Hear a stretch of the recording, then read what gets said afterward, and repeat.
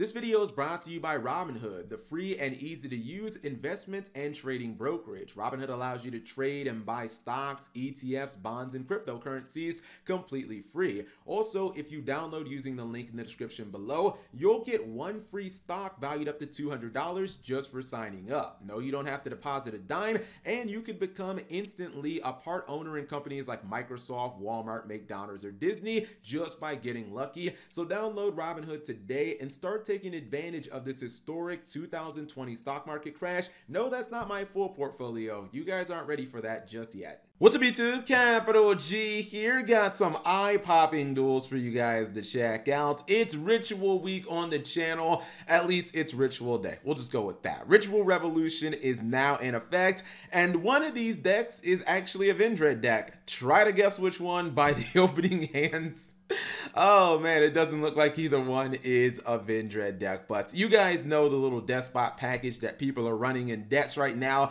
It's uh it's very potent because it gets you to Halqifibrax, and then that gets you to Auroradon, the uh, Mecha Phantom Beast Link monster, and then you can do a lot of crazy things. You guys know how I feel about Halqifibrax. I'm not gonna belabor that point. I hate that card so much, but let's go ahead and roll if the Duelif. And I believe that uh, Angelia is going to be ashed, and unfortunately unfortunately, sometimes that, that, that's how it be with Madolches, man. You go for your first play, you get ashed, and you just don't have any more plays.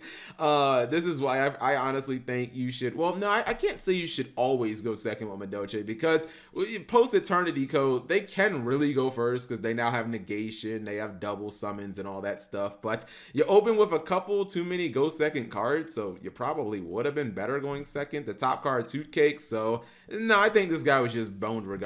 Anyways, uh, let's see what's going to happen here. So Deskbot 01 can summon a Deskbot monster from the deck. That gets you to your Deskbot 2. These are now a tuner and non-tuner on field. I'm sure Konami never intended Deskbots to be able to go into Halqifibrax, but guess what? They can go into Halqifibrax, and you go into a Auroradon, it gets you out, what, three tokens, and then your Deskbot summons itself from the graveyard. Uh, I don't think that's a hard one. It's not a hard once per turn effect, because I actually seen a, I, I have a duel where somebody does it two times. They summon like Mecha Phantom Beast. Yeah, you know what? There it is. It's not a hard once per turn because he summoned two of them. They ended up summoning uh, Mecha Beast Dracossack, and then they summoned it from the graveyard again, which is kind of crazy. Anyways, Herald of the Arclight, uh, two of them. Wow, that's crazy. Two Herald of the Arc Lights. That's dope. That'll get you a couple of searches, and now you got your Vendread package going. Oh my goodness, I, I totally missed that in the, the first time me watching it. Anyways, uh, Revendread uh, Slayer is going to be summoned, and then you're going to keep going into some other plays. And at first, I was kind of wondering where this was going. I don't know if you guys missed that. But he did actually send Djinn, Presider of Rituals, into the graveyard. Yes, there's actually people still play Djinn monsters. I mean, the best Djinn releaser of Rituals. I mean, even that got banned in the OCG. But yeah, people still play some Djinns. That is the one that when a monster destroys um, another monster, when a ritual monster destroys a monster by battle, it allows you to draw a card. Now, I think he's going to get Black Garden, and I was looking at this and I was like, obviously this is a cheese play revolving around a whole lot of uh, a whole lot of combo enablers. But I was like, where exactly is this going? I mean, when Black Dragon hits the field, your opponent's going to be forced to get a whole bunch of monsters and now we're going to go for some other plays with Archfiend's Manifestation. I think this is actually going to be to summon Beatrice, if I remember correctly. So I couldn't really figure out where exactly this play was going, but believe me, it's going to be pretty derp. He's actually going to send this random Scorpion Performapal thing to the graveyard and still not quite understanding until he summons the Slayer. And this is where it's going to actually be absolutely stupid what happens here. So he he did ultimately use the Djinn Presider of Rituals, and his Revendread Slayer actually gets multiple attacks. Now, every time he and never every time he attacks a monster, he has the ability to draw a card, and then he can also draw an additional card and discard. Watch what's going to happen here. You won't actually believe it. He's gonna go for, uh, oh yeah, yeah, this is the one This is the one that says once per turn, target a face-up card you control. It can attack all special summon monsters. I was just thinking, I was like, how does he get the additional attacks? It's with the random scorpion uh, Performapal monster. So now he can actually attack every single one of these rose tokens that obviously you force on your opponent's side of the field. So you do have five draws. What do you guys think the win condition is going to be? It's so stupid. I, I honestly couldn't believe it the first time I watched it. Enter battle phase, he attacks, he's going to draw a card he attacks, he's going to continue drawing cards. And would you look at that? the win condition, this is actually 3000 IQ. The win condition isn't Vendreads at all, it's Exodia. What is even going on? Big brain plays. Don't get me wrong, I really don't like only having duels that uh, start with Halqifibrax and that type of stupid cheese. But when you give me a Revendread or a Vendread deck that then converts itself into an Exodia OTK, that's the type of cheese I like to see because, I mean, I've never personally seen someone draw Exodia during the battle phase, but there's a first time for everything. I mean, I've been playing this game for 20 years and, you know, still, uh, still stuff surprises me every day. Anyways, let's go to the next duel. I told you guys, uh, Ritual Revolution is in effect. So uh, we're going to double up on the Revendreads, or Vendreads. It's Revendread Slayer. I always say that. Anyways, Orcust going first. Orcust, they basically like can't really combo without Mech Knight, Orcust Gearsuit. So they have to rely on the scrap engine.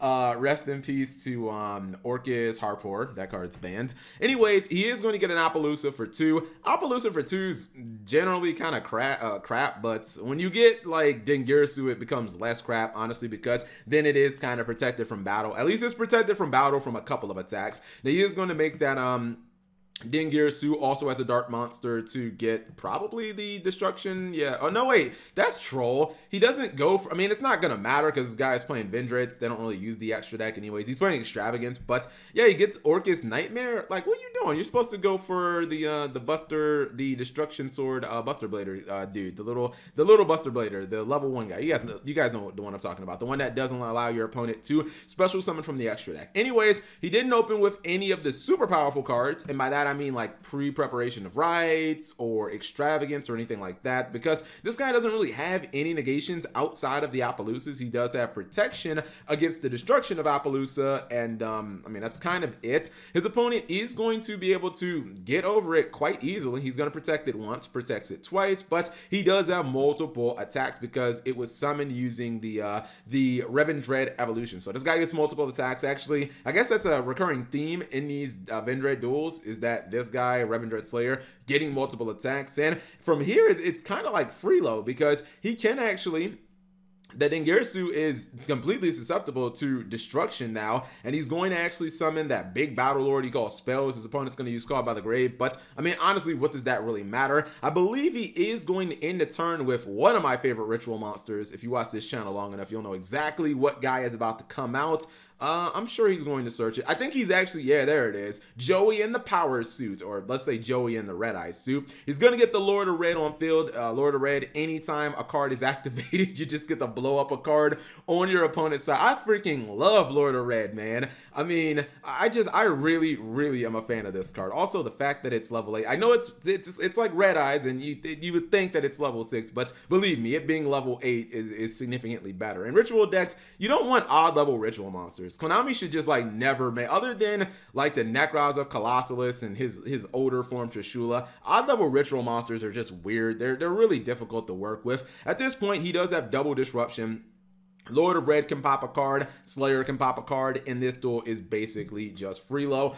Anyway, so these are what the decks look like on paper. You guys can see this is the Exodia build, and just give me a second to switch some of this stuff around. Uh, this is not obviously a competitive build of Exodia. It was more shown off because of the dankness. You know that there are a lot of things that had to go right for that play to come to fruition, and when you play a Deskbot that, that, you know, kind of relies on the Halqifibrax into a Auroradon play, there are a lot of choke points. MBT talked about that a while ago. Uh, there are so many opportunities, whether it be Deskbot 3 or Halqifibrax or even Auroradon, but uh, mainly Deskbot 3 and, and Halqifibrax. If your opponent Ashes or Impermanence is either one of these cards, you are basically boned, and you can see a lot of the rest of the deck are just kind of like one ofs and other kind of hodgepodge cards or hodgepodge car- cards thrown together that are like either extenders or cards to get you to like some of your ritual pieces, etc., etc. But many opportunities for this deck to uh, fold like Superman on Laundry Day. I do like the fact that he's even running some assault mode cards in here. Look at this. We got assault mode activate. We got assault beast. We got Psi Reflector.